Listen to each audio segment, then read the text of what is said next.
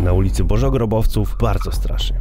Ponoć nocami mknie tam piekielna kareta. Kiedy mieszkańcy słyszą jej dźwięk, nie mogą jednak podchodzić do okien, żeby sprawdzić, co się dzieje, ponieważ każdy, kto zobaczy ją w nocy, będzie miał problemy. Ten pojazd sprowadza na wszystkich nieszczęście. A jeżeli chcesz usłyszeć legendę ze swojego miejsca, napisz mi w komentarzu skąd jesteś.